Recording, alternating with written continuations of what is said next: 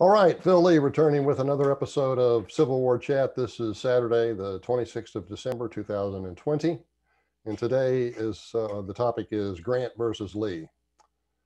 A lot of what's a lot of what's going on with the hostility towards Lee, you know, tearing down his statues, the Washington and Lee University can, considering removing the name Lee from the school. Although they say it has to do with morality about um, you know slavery and racism and all that sort of thing. It all really got started about 40 years ago uh, by a, a, a, small group that became a large group of historians who really wanted to uh, elevate uh, Grant's reputation. And they figured the best way to do that is to tear down Lee's reputation, primarily because Lee's reputation would be, would be impossible for Grant to meet. So they wanted to tear down his reputation by creating phony reasons for uh, um, criticizing him. Uh, so what I want to do is first, let me uh, uh, again point you to the uh, notification bell in the upper right, far upper right of the uh, screen that you're looking at here, uh, outside the frame of where I am and uh, you know my video. But go up into the screen and, and, find the YouTube notification bell and click on that. You'll be notified whenever I have a new video. Let me go ahead now and pull up my notes so I can discuss with you uh, Grant versus Lee, because when the two of them actually met, we, we, we see who was the better one. One of the reasons the cultural elite attacks Robert E. Lee today is because selected historians wanted to tear down his reputation in order to lift that of Ulysses Grant. It began in 1981 when William McFeely's Grant biography won the Pulitzer Prize, which enraged a small cabal of historians because it was at times critical of their hero. It was not the hagiography that these guys demand each new uh, Grant biography be.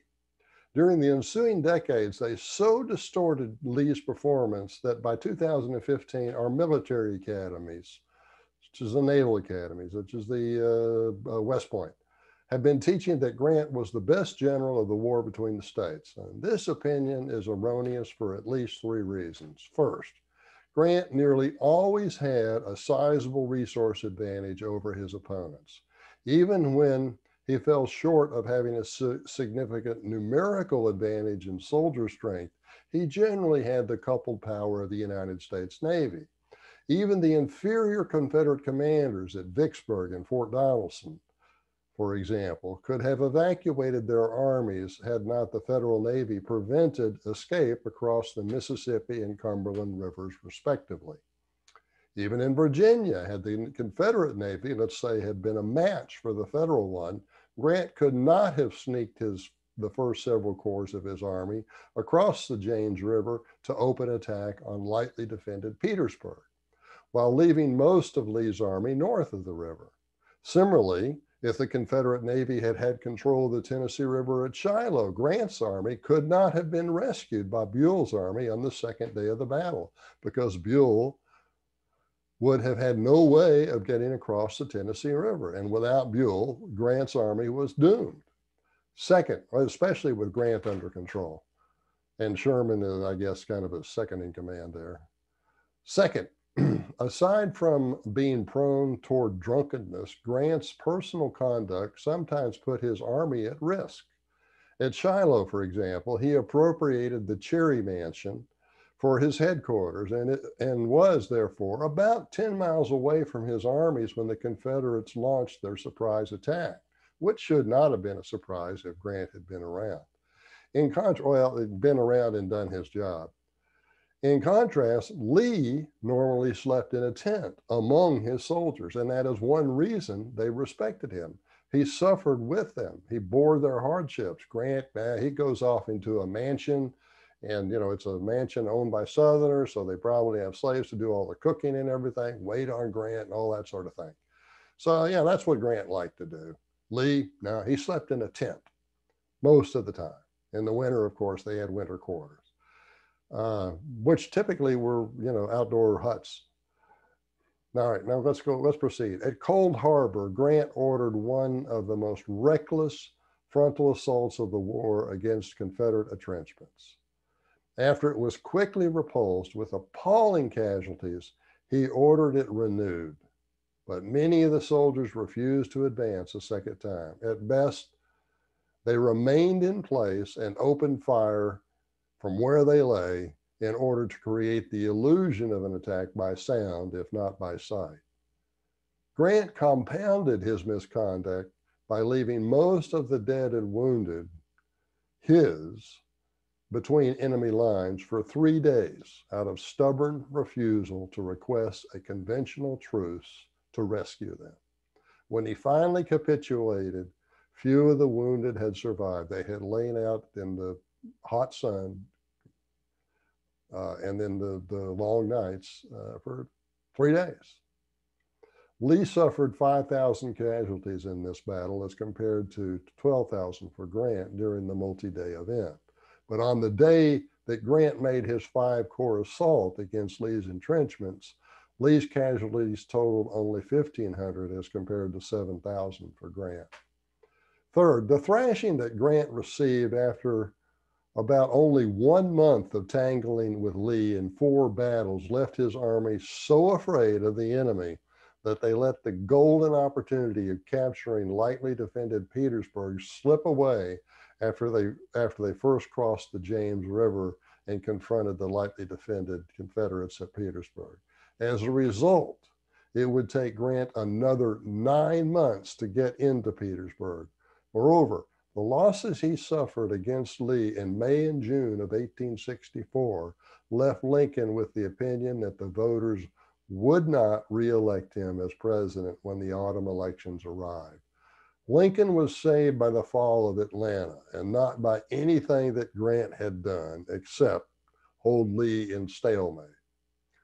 The following is an excerpted and edited version of Joseph Rose's analytical summation of the 1864 Overland Campaign, where Grant first met Lee during this 40 days. And it comes from uh, Rose's book, Grant Under Fire. Grant began his 40 day campaign against Lee with an approximate two to one numerical advantage. He had 124,000 troops compared to 66,000 for Lee. At the end, Grant had suffered 55,000 casualties, which was also about twice as large as Lee. Grant had thereby earned the epithet butcher from his own soldiers and Northern civilians, not Confederates, nor members of the so called Lost School of Civil War, uh, Lost Cause School of Civil War History. It was not the so called Lost Causers that called Grant a butcher, it was the Yankees themselves, the contemporary Yankees. Losses for the two sides during the battles of the wilderness, and this is stunning when you think about it. Losses for the two sides during the battles of the wilderness, Spotsylvania and Cold Harbor, correspond closely to the federal disasters at Second Bull Run, Chancellorsville, and Fredericksburg. Talk to anyone casually acquainted or moderately acquainted with the Civil War and ask them about those losses at Second Bull Run, Chancellorsville, and Fredericksburg. Oh, those are disasters, they'll say. But then ask about Wilderness, Spotsylvania, and Cold Harbor. Oh, well, that's where Grant began to show Lee how to really fight the war. Uh uh uh uh. Wilderness, Spotsylvania, and Cold Harbor, the losses at those three so called Grant victories correspond closely to the federal disasters at Second Bull Run, Chancellorsville, and Fredericksburg. All three Union generals in charge of Second Bull Run, Chancellorsville, and Fredericksburg lost their positions. They were replaced. One was run out to Minnesota to deal with Indians. The other one, another one, went to uh, uh, help um, Rosecrans in Tennessee and then Burnside, who was the general in charge at Fredericksburg, was demoted. Ulysses Grant had finally, quote, met Lee, although not with the results he expected. Each of his four maneuvers, passing through the wilderness to open country, reaching Spotsylvania first, and crossing the North Anna River and flanking Lee at Cold Harbor, each had failed. Each of his three major engagements, ended in defeat. The stalemating of Grant constituted a major Confederate victory, which was reflected in Lincoln's potential for electoral defeat. Although he stumbled a few times, Lee ably met a force nearly twice the size of his own. Grant never came close to his goal of bringing Lee's army into an open battlefield and beating it. In fact, Grant's massive losses in only 40 days during May and June of 1864 destroyed the effectiveness of his army for the rest of that year of 1864. This is no great performance by Grant. This is a bad performance by Grant. He does not deserve the credit that modern historians are giving him. Now, I want to bring to your attention my book, Grant's Failed Presidency. Okay? You can get a copy of this book at Amazon or any, you know, online bookstore, any bookstore, they can order it for you. U.S. Grant's Failed Presidency. It's $20. If you'd like a signed copy, I'll sign it for you and deliver it to you here in the United States for $25. Grant was even worse as a president than he was as a general. Worse. He he was there was so much corruption, financial corruption in his two terms. It's probably not been matched since then. And a lot of people's like, well, they will take the point of view that, well, you know, Grant was personally honest. He was just not a good judge of the people that he brought in to help him. Well, let's take a look at that. One of the biggest scandals in that in in, in his uh, in one of his two administrations was a scandal to uh, buy uh, liquor producers to avoid paying excise tax. This was before income tax, so excise taxes were big. Tariffs were number one. Tariffs are number one. You know that's see the Yankees wanted tariffs because that kept manufacturing monopolies north of the Ohio River and Mason-Dixon line. That was number one important. It was also number one revenue. But another two revenue during this period was was excise taxes, particularly on things like alcohol. Okay, that was a big scandal because what happened in Grant's administration is, well, these alcohol man, these uh, whiskey makers did not want to pay the tax, right? They don't want to pay taxes. How can they get out of paying the tax? Well, they can bribe administration officials in the Treasury Department. Yeah. Grant officials. Now, eventually, what happened is things began to leak out, like these things often do. And so Grant had to replace his uh, Secretary of the Treasury, and he got in a guy who was a you know squeaky clean, or certainly by comparison. Benjamin, uh, what was his name? Uh, shoot, Benjamin Bristow became Treasury Secretary. So finally, through Bristow's work, and uh, he hired detectives, and they found out all this was going on. They brought charges against uh, a number of people. And here's what the uh, chief clerk of the uh, Treasury Department said to uh, future Supreme Court Justice uh, John Harlan.